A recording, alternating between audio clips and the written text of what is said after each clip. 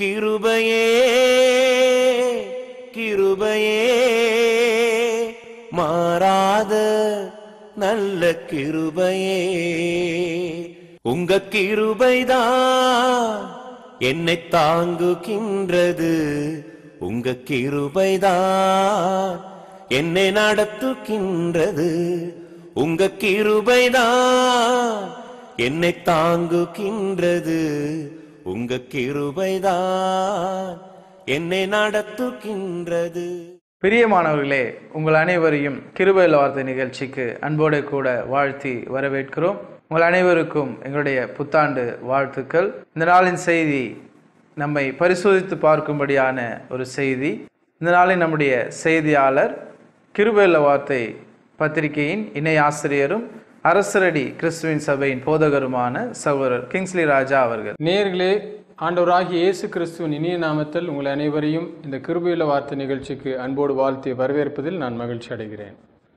கடந்த செய்தியின் தொடர்ச்சியாக இந்த நாளிலும் கூட நாம் இந்த வருஷத்தின் துவக்கத்தில் இருக்கிற நாம் சில விஷயங்களை எச்சரிக்கையோடு அல்லது கவனமாய் கணக்கு பார்க்குற மாதிரி நம்ம எக்ஸாமின் பண்ணி பார்க்கணும் பரிசோதித்து பார்க்கணும் அப்படின்னு சொல்லிட்டு தேவன் விரும்புகிறார்.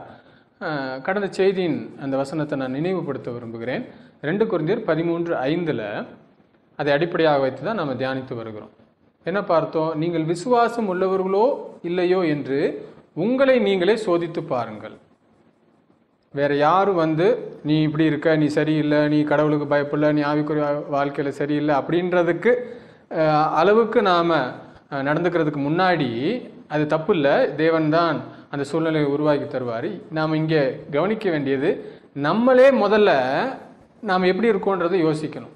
ஏன்னா அதுதான் ரொம்ப கஷ்டமான விஷயம். சில நிறைய பேர் சுயநீதிக்காரங்களாக இருப்பாங்க. ஐ எம் ஓகே என்னுடைய சூழ்நிலை இது. இதை தேவன் புரிஞ்சுக்குவார். நான் செய்கிறதெல்லாம் ரைட்டு தான் அப்படின்னு இருப்பாங்க. அதுதான் தவறு.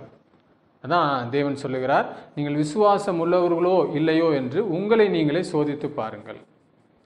ரெண்டு விஷயத்தை அதுக்கு க்ரைட்டீரியா அதுக்கு அளவுகோலாக எடுத்து நம்ம பார்க்கணும் அப்படின்னு பார்த்தோம்.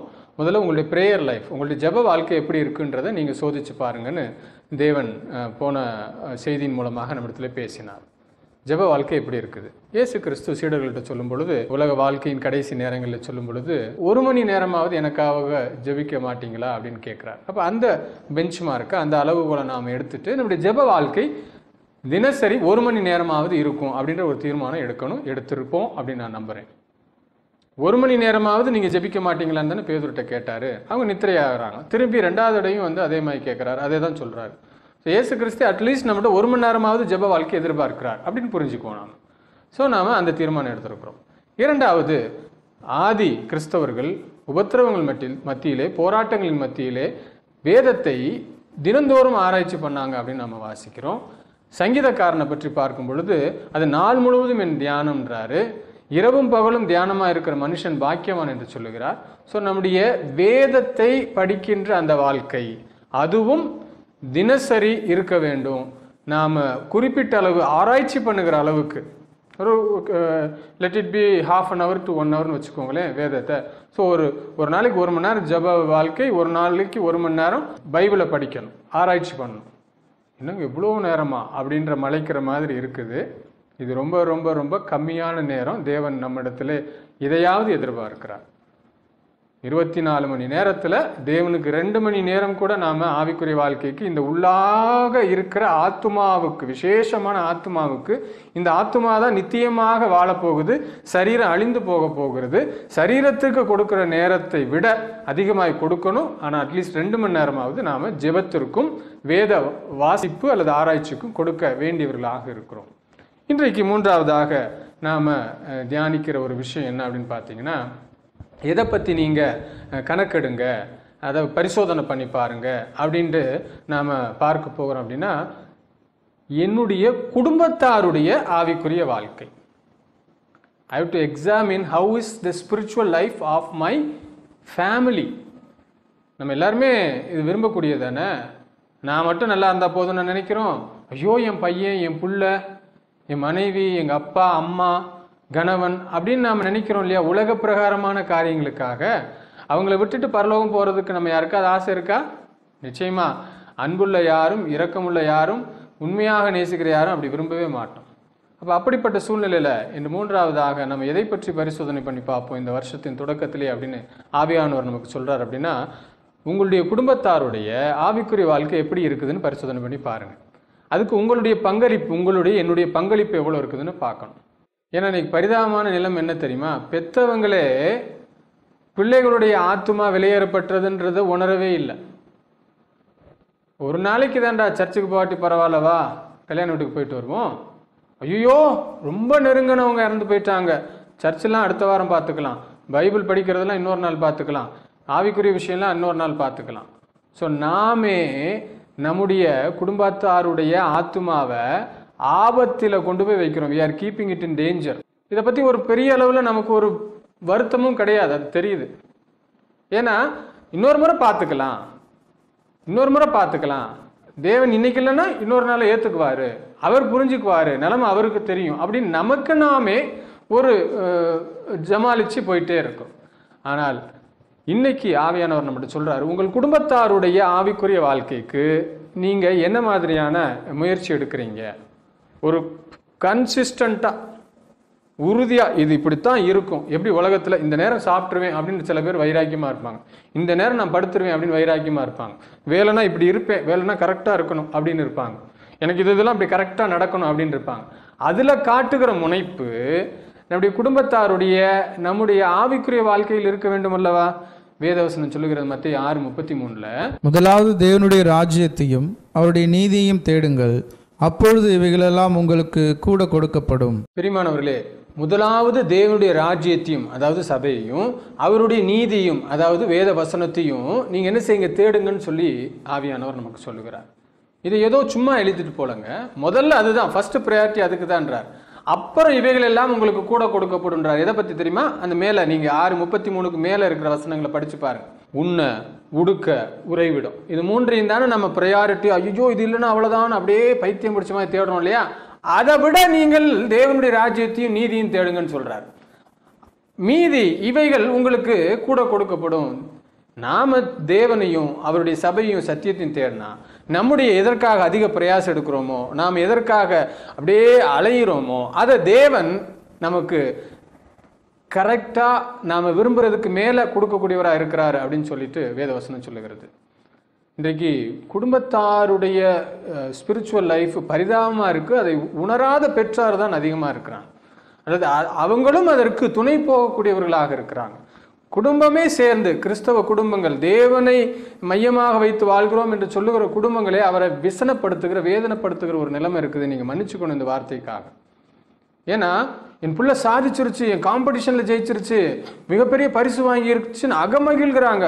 அது என்னைக்குன்னா கத்துடைய நாளில் அது என்ன சாதிச்சிருச்சான் இந்த உலகத்தில் இருக்கிற வரைக்கும் நமக்கு தண்டனை கிடைக்காதனால அது தேவன் ஏத்துக்கிட்டாருன்னு நினைக்கிறோம்.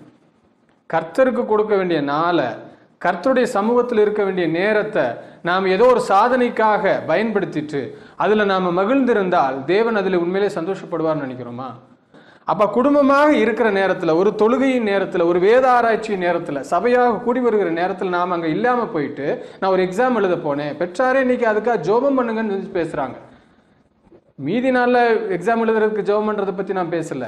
கர்த்துடைய சமூகத்தில் இருக்க வேண்டிய நேரத்தில் எக்ஸாம் எழுத போகிறான் என் பிள்ளை இந்த வேலைக்கு முயற்சி இன்டர்வியூ எடுக்க போ இன்டர்வியூக்கு போகிறாங்க ஜெபம் பண்ணுங்க அப்படின்றாங்க. அது போனால் போகுது கழுத. தேவனை விட இந்த எனக்கு முக்கியம் இல்லைன்னு இன்னைக்கு தைரியமாய் விசுவாசம் உள்ளவர்களாய் வாழ்றவங்க இல்லை. இதை சொன்னால் நமக்கு இந்த உலகத்தில் என்னங்க நீங்கள் பைத்தியம் மாதிரி பேசுகிறீங்க அப்படின்றவங்க தான் இன்றைக்கு நிறைய இருக்கிறாங்க. ஆனால் தேவன் எதிர்பார்க்கிறார். அவருக்கு கொடுக்க வேண்டிய நேரத்தை அவருடைய சமூகத்தில் இருக்க வேண்டிய நேரத்தை நாம் இன்னைக்கு திருடி கொண்டு இருக்கிறோம் என்பதை நினைத்து அவர் வேதனைப்படுகிறார். பழைய பிரமாணத்தில் நீங்கள் பார்த்துருக்கிறீங்களா? ஓய்வு நாளில் விறகுக்காக சொல்லி பொறுக்கினவன் கூட கல்லெறிந்து கொள்ளப்பட வேண்டும். அப்படிப்பட்ட தேவன் தான் அவர். நம்ம நம்ம இன்னைக்கு சொல்லுகிற இந்த சமாளிக்கிற காரணங்களை அவர் ஏற்றுக்கொள்கிறவர் இல்லை. அவருடைய சமூகத்தில் இருக்கணும் அவருடைய கட்டளைகளுக்கு இப்படி தான் கீழ்ப்படியணும் அவருக்கு முக்கியத்துவம் கொடுக்கணும்னா தன்னுடைய மகிமையும் மகத்துவத்தையும் விட்டே கொடுக்காதவர் அவர். எந்த காரணத்துக்காக அதை அவர் என்ன செய்ய இழக்க விரும்பவில்லை. ஆனால் இன்றைக்கு நாம் அவரை அவமரியாதை பண்ணுகிறோம். அவருடைய சமூகத்திற்கு வர வேண்டிய நேரம் வேதத்தை படிக்க வேண்டிய நேரம் ஜெபிக்க வேண்டிய நேரத்தை உலகத்தின் சாதனைகளுக்காக உலகத்தின் இச்சைகளை நிறைவேற்றுவதற்காக பயன்படுத்தி கொண்டு தேவன் ஏற்றுக்கொள்வார். தேவன் அதை பொறுத்து கொள்வார். தேவன் அதை அஹ், சகித்துக் கொள்வார் என்று நாம் நினைக்கிறோமே. அதுதான் பரிதாபமான ஒரு சூழ்நிலை. நம்முடைய குடும்பத்தாருடைய ஆவிக்குரிய வாழ்க்கை எப்படி இருக்கிறது? குடும்பமாக டூர் போவோம். ஞாயிற்றுக்கிழமை தொழுகை பற்றியே கவலைப்பட மாட்டோம். தேவன் எப்படி கூட வருவார்? நாம் ஜெபிச்சுக்கிட்டு நாம் நினச்சிக்கிறோம் தேவன் கூட வர்றாருன்னு அதுக்காக அவர் நம்மளை வந்து அழித்து போடுவது போடுகிறவர் அல்ல. அது பழைய பிரமாணத்தில் செஞ்சிருப்பார். இப்போ கிருபையை கொடுக்கிறார். அந்த எச்சரிப்பையை இன்னும் மீறி மீறி மீறி நடக்கும் பொழுது சந்ததி சாபத்துக்குள்ளாக மாறும் என்பதை நாம் மறந்துவிடக்கூடாது. தேவனை வேதனைப்படுத்துகிற அவருடைய மகிமையை குறைத்து மதிப்பிடுகிற யாரையும் அவர் ஏற்றுக்கொள்கிறவரே இல்லை. எனக்கு அன்பானவர்களே ஒரு விளையாட்டுக்கு ஒரு கேளிக்கைக்கு தேவனுக்கு கொடுக்க வேண்டிய நேரத்தை திருடி கொண்டு போய் நாம் பயன்படுத்துகிறோமே தேவன் அதை ஏற்றுக்கொள்கிறார் என்று நீங்கள் நினைக்கிறீர்களா? எவ்வளவு வேதனைப்படுவார் அவர். நம்ம வசதிக்கு வாழ்ந்துட்டு நான் கிறிஸ்தவன் நான் தேவனுக்கு பயப்படுகிறேன் நான் விசுவாசம் இருக்குன்னு சொல்லுகிறதை அவர் விரு ஏற்றுக்கொள்ள விரும்பவே இல்லை. நான்காவது விஷயம் நான்காவதாக நம்முடைய விசுவாசம் இருக்கிறதா இல்லையான்னு சோதித்து பார்க்க வேண்டிய கிரைட்டீரியா என்னென்னா how is our relationship with our church family எல்லாருக்கும் நான் என்னுடைய குடும்பம் அதுதான் ரொம்ப முக்கியமானதாக இருக்கிறது. ஆனால் தேவனுக்கு எது தெரியுமா முக்கியம்? அவருடைய குடும்பம் முக்கியம். அவருடைய குடும்பம் எது தெரியுமா? வசனம் சொல்லுகிறது ரெண்டு நாற்பத்தி ஏழு அப்போஸ்லர்ல அவர் சபையாலே ரட்சிக்கப்படுகிறவர்களை சேர்த்து கொண்டே வந்தாராம். அந்த குடும்பம் தான் அவருடைய குடும்பம். அப்போ சபை என்னும் குடும்பத்தோடு நம்முடைய உறவு எப்படி இருக்கிறது? நம்முடைய பங்களிப்பு எப்படி இருக்கிறது? நிறைய பேரை பார்த்துருக்குறோம். ஊழியக்காரனை ஈஸியாக கிரிட்டிசைஸ் பண்ணுறது நல்ல செயல்படுகிற விசுவாசிகளை ஈஸியாக கிரிட்டிசைஸ் பண்ணுறது என்ன அவங்க இப்படி செஞ்சாங்க? என்ன இப்படி பேசுகிறாரு என்ன இவர் இப்படி இருக்கிறாரு? தப்பு சொல்லலை. குறைகள் இருக்கலாம் அவங்க மனிதர்கள் தான். ஆனால் கிரிட்டிசைஸ் பண்ணுறதுலே நம்ம என்ன செய்கிறோம் ஃபெமிலியாரிட்டி தேடிக்கொள்கிறோம் இந்த யதார்த்தமாக அந்த உலகத்தில் விளையாட்டு பார்த்துருக்கீங்களா? கிரிக்கெட் விளையாட்டு. என்ன இந்த டெண்டுல்கர் என்ன அடித்தான் இந்த பாலை போய் விட்டுட்டான் முட்டாப்பையை. இந்த பாலை பாருங்கள் இது தூக்கி அடிச்சிருக்கலாம். இது இதை போய் விட்டுட்டான் அப்படின்னு சொல்கிறோம் பார்த்தீங்களா அது மாதிரி தான் இன்றைக்கு சபையும் நாம் பார்த்து கொண்டிருக்கிறோம் அங்கே விளையாடுகிறவர்களுக்கு தான் தெரியும் அதனுடைய பிரச்சனை என்ன அல்லது எப்படிப்பட்ட சூழ்நிலையில் இருக்கிறாங்கன்னு சொல்லிட்டு. அதை போல நான் அவர்களை பாராட்ட விரும்பவில்லை தவறு செயல்களை ஊக்கப்படுத்த நான் விரும்பவில்லை.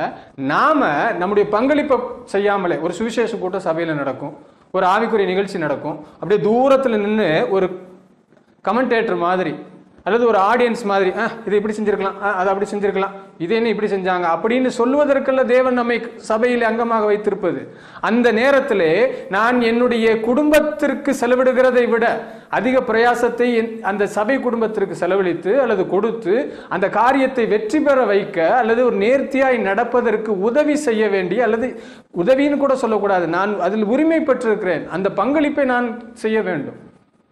சபை என்பது இயேசு கிறிஸ்துவின் ரத்தத்தினால் விலைக்கு வாங்கப்பட்ட அவருடைய குடும்பமாக இருக்கிறது. அந்த குடும்பத்தை அவமரியாதை பண்ணுறவங்களை தேவன் பொறுத்து கொள்ளுகிறதே இல்லை. நிறைய பேருக்கு பைபிள் ஓகே பைபிள் வாசிக்கிறது என்னுடைய தனிப்பட்ட வாழ்க்கையெல்லாம் ஓகே. சபை அதெல்லாம் ரெண்டாம் தரம் தான். பைபிள் படிக்கணும் ஜெபம் பண்ணணும் தனிப்பட்ட வாழ்க்கையில் முக்கியம் இதெல்லாம் முக்கியம். அதே நேரத்தில் சபையின் நிகழ்ச்சிகள் ஒன்றை கூட தவற விடக்கூடாது. சபை என்பது இரண்டாம் பட்சமாக அது ஒரு நமக்கு ஒரு தூரமானதாக இருக்குமானால் தேவன் ரொம்ப வேதனைப்படக்கூடியவராக இருப்பார். ஏன்னா சபை நம்ம நினைக்கிற மாதிரி ஏதோ ஒரு கூட்டம் கிடையாது. அது ரட்சிக்கப்பட்டவர்களின் கூட்டம். அது தேவனுடைய குடும்பம் அதன் தலைவர் இயேசு கிறிஸ்து. அங்கே தகப்பனாக நம்முடைய தேவன் இருக்கிறார். ஸோ இப்படிப்பட்ட சபையை நாமே தேவனுடைய ஆலயம் அதாவது பரிசுத்தாவின நமக்குள்ள வாசம் பண்ணுகிறார் இல்லையா? நாம் தேவனுடைய ஆலயமாக இருக்கிறோம். அப்போ அந்த சபை என்னும் அந்த ஐக்கியத்தில் நம்முடைய பங்களிப்பு என்ன? இந்த இந்த வருஷ துவக்கத்தில் நாம் சோதிச்சு பார்ப்போம். ஏதாவது மீட்டிங்க்கு தேவைன்றாங்களா? கொடுக்கக்கூடியவர்களாக நாம் இருக்கிறோமா? அந்த மீட்டிங்கில் வாலண்டியர் பண்ணி அதில் உழைத்து என்னுடைய குடும்பத்தில் ஒரு விசேஷம் நடந்தால் எப்படி நைட்லாம் தூங்காமல் இருப்பேன்? அது மாதிரி ஒரு மீட்டிங்கை சக்ஸஸ் ஆகிறதுக்கு ஆத்துமாக்களை ஆதாயப்படுத்திக் கொள்வதற்கு நிறைய பேருக்கு ஆவிக்குரிய வளர்ச்சிக்கான வசனம் சென்றடைவதற்கு நாம் என்ன பங்களிப்பை செய்திருக்கிறோம்? இதை இந்த வருஷ துவக்கத்தில் யோசித்து பார்ப்போம். வெளியிலிருந்து கிரிட்டிசைஸ் பண்ணிட்டு இது ஈஸியாக செஞ்சுட்டு போயிடலாம். ஆனால் தேவன் நம்மை அங்கே அதில் பங்கு பெற சொல்லி சொல்லுகிறார். நாம் அதனுடைய நேர்த்தியா இது நடப்பதற்கும் சபை மதிப்புள்ளதாக இருப்பதற்கும் சபை செயல்படுவதற்கும் நாம இயங்க வேண்டும் என்று அவர் சொல்லக்கூடியவராக இருக்கிறார். அப்போ சிலர் பதினொன்று இருபத்தாறில் இதை தான் ஆதி கிறிஸ்தவங்க செஞ்சாங்க. அவர்கள் ஒரு வருஷ காலமாய் சபையோடே கூடியிருந்து அநேக ஜனங்களுக்கு உபதேசம் பண்ணினார்கள். முதல் முதல் அந்தியோகியாவிலே சீஷர்களுக்கு கிறிஸ்தவர்கள் என்கிற பெயர் வழங்கிற்று. பாத்தீங்களா? நல்லா கவனிச்சு பாருங்க. கிறிஸ்தவன்ற பேரை எப்படி வந்துச்சு தெரியுமா? சபையோட கூடியிருந்ததுக்கு அப்புறம் தான் தேவனே அந்த பேரை கொடுத்துருக்காரு. வசனம் சொல்லுது நான் சொல்லலை. பதினொன்று இருபத்தாறு என்ன வாஸ்தவம் இப்போ? ஒரு வருஷ காலமாய் சபையோட கூடி இருந்தாங்களாம் அதுக்கப்புறம் தான் முத முத அந்தியாவில் கிறிஸ்தவன்ற பேரே வழங்கப்பட்டிருந்தான் ஆனால் நம்ம கிறிஸ்தவங்களோட பேரை மட்டும் நாம் பெருமையாக நினைக்கிறோம். சபை என்றும் ஐக்கியத்தில் நாம் உறுதி உள்ளவர்களாய் செயல்படக்கூடியவர்களாய் அதனுடைய மேன்மைக்காக பாடுபடக்கூடியவர்களாய் இருக்கிற பட்சத்தில் தான் தேவன் நம்மை மதிப்புள்ளவர்களாக பார்க்கிறார். இறுதியாக இவரையர் பன்னிரெண்டு பதினஞ்சில் பார்த்தீங்கன்னா எந்தவித கசப்பான வேரும் நம்மில் இருந்து எழும்ப வேண்டாம் என்று ஆவியானவர் சொல்லுகிறார். குடும்ப விஷயத்திலும் சரி சபை விஷயத்திலும் சரி தனிப்பட்ட வாழ்க்கையிலும் சரி நாம் விசுவாசம் உள்ளவர்களா இல்லையான்னு சோதிச்சு பார்க்க கடமைப்பட்டிருக்கிறோம். அதான் நம்ம நாலு பாயிண்ட்டை நம்ம பார்த்தோம் இந்த செய்தியில். த கசப்பான வேர் ஒரு சலிப்பான வேர். சும்மா நெகட்டிவ் தாட்டே வரும் எல்லாருக்கும் சில பேருக்கு எப்போ பார்த்தாலும். எதையாவது குற்றம் குறை கண்டுபிடிக்கிறது தான். அதில் எப்படி நான் பங்கு பெற்று அதை சக்ஸஸ் ஆக்கி காட்டுறதுன்றதை பற்றி யோசிக்கவே மாட்டாங்க. அவங்களாம் செயலற்றவங்க பயனற்றவங்க செய்ய முடியாதவங்களால ஆனால் அவங்களால குற்றம் மட்டும் கண்டுபிடிக்க முடியும். ஆனால் தேவன் அப்படிப்பட்டவர்களை விரும்பவில்லை. நம்மளோட குற்றத்தை பார்த்துருந்தாருன்னா ஏசு கிறிஸ்து இந்த பூமிக்கு வந்திருக்க மாட்டார். பாவத்தை மன்னிக்கணும்னு சொல்லிட்டு தான் ஏசு கிறிஸ்து பூமிக்கு வந்தார். நம்மளை பரிசுத்தவான்களை ஆக்கியிருக்கிறார் இப்போ. மற்றவர்களிடத்திலே குறிப்பாக சபையின் இடத்திலே நம்முடைய குடும்பத்தார் இடத்திலே அல்லது நமக்கு நாமே குற்றத்தையும் குறைவுகளையும் கண்டுபிடிப்பதை விட விசுவாசம் இருக்கிறதா என்பதை சோதித்து பார்ப்போம். விசுவாசத்தில் வளர்ந்து பெருகுவோம். விசுவாச முதிர்ச்சி அடைவோம். விசுவாச கனிகளை கொடுப்போம். தேவன் நம்மை ஆசீர்வதித்து இந்த ஆண்டு முழுவதும் வழி நடத்துவாராக. ஜெபம் செய்வோம். எங்களை நேசிக்கிற நல்ல பிதாவையுமே துதிக்கிறோம். இந்த நாளுக்காக இந்த செய்திக்காக உமக்கு நன்றி சொல்லுகிறோம். எங்களை நாங்களே பரிசோதித்து பார்க்கிற கிருபை எங்களுக்கு கொடுத்தீரே. நான் விசுவாசம் உள்ளவனாக இருக்கிறேனான்றதை யோசிக்கவும். என் குடும்பத்தாருடைய விசுவாசத்தில் நான் எவ்வளவு தூரம் உறுதுணையாக இருக்கிறேன் அவங்க தேவனுக்கு முக்கியத்துவம் கொடுக்கணுன்ற விஷயத்தில் எவ்வளவு நான் வைராக்கியமாக இருக்கிறேன்றதை பற்றி யோசித்து பார்க்கவும். சபைக்கும் எனக்கும் உள்ள உறவு உறுதியாக இருக்குதா? அந்த சபையின் வளர்ச்சிக்காகவே நான் பாடுபடுகிறேனா? பவுலடியார் சொல்லுகிறார் எல்லா பிரச்சனைகளையும் சந்தித்த பிறகு சொல்கிறாரு சரீர வேதனை குற்றுயிரும் கூட கு- தூக்கி எறியப்பட்ட போது கூட அவர் சொல்லுகிறார் இவை முதலானவைகளே அல்லாமல் இதெல்லாம் எனக்கு பெரிய வேதனையை தரலை. எல்லா சபைகளையும் குறித்த வேதனை என்னை நாள்தோறும் வாட்டுகிறது அப்படின்னு சொன்னார். அப்ப அந்த சபையை பற்றி நாங்கள் அதிக அக்கறையுள்ளவர்களாக இருக்க நீர் கிருபை செய்யும் தோப்பனே இந்த நிகழ்ச்சியை பார்த்த ஒவ்வொருவரையும் ஆசிர்வதியும். தேவ கிருபை எல்லாரோடும் கூட இருக்கட்டும். அன்பின் ஆண்டவர் இயேசுவின் மூலம் ஜெபிக்கிறோம். ஜீவனுள்ள நல்ல பிதாவே. ஆமே பிரியமானவர்களே செய்தியை கேட்ட உங்கள் அனைவரையும் தெய்வம் தாமே ஆசிர்வதிப்பாராக. இந்த நாளின் செய்தியிலிருந்து உங்களுக்கான கேள்வி ரெண்டு குருந்தையர் பதிமூணு ஐந்தில் உங்களை நீங்களே சோதித்தறியுங்கள் என்று எதை குறித்து சொல்கிறார்? மீண்டும் ஒரு முறை கேள்வியை கவனமாக கவனிங்க. ரெண்டு குருந்தேர் பதிமூணு ஐந்தில் உங்களை நீங்களே சோதித்து அறியுங்கள் என்று எதை குறித்து சொல்கிறார்? இதற்கான பதிலை எங்களுக்கு தபால் மூலமாகவோ அல்லது தொலைபேசி வாயிலாகவோ எங்களுக்கு தெரியப்படுத்தவும். தெய்வம் தாமே உங்கள் அனைவரையும் ஆசீர்வதித்து வழிநடத்துவாராக. அன்பு நேர்களே நீங்கள் மதுரையில் இருப்பவர்களானார் எங்களுடன் சபையில் சேர்ந்து ஆராதிக்க உங்களை அன்புடன் அழைக்கின்றோம். எங்களுடைய சபை ஆராதனை நேரங்கள் ஞாயிறு காலை ஒன்பது முப்பது மணிக்கும் மாலை ஆறு முப்பது மணிக்கும் மற்றும் வேத ஆராய்ச்சி புதன் மாலை ஆறு முப்பது மணிக்கும் நடைபெறுகிறது.